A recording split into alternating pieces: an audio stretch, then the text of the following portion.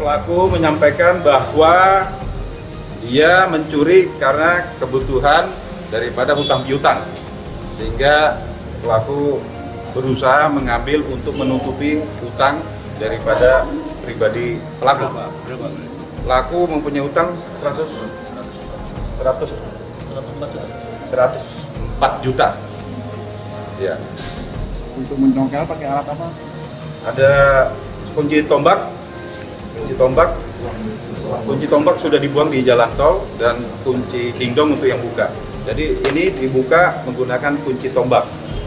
Tapi eh, sudah dibuang pelaku di jalan tol. Masih dalam pencarian. Kalau ATM ini Berapa jam? 15 menit Pak. 15 menit. Itu lama Pak? 15 menit langsung. Ya, enggak. 15 menit saya punya kuncinya. Biasanya memang 15 menit. Berarti Biasanya malah kalau maintenance kurang dari itu. berarti mulai masuk sampai keluar itu 15 menit ya. Ya, kalau sama keluar enggak. Kalau ambilnya. Ambilnya sih.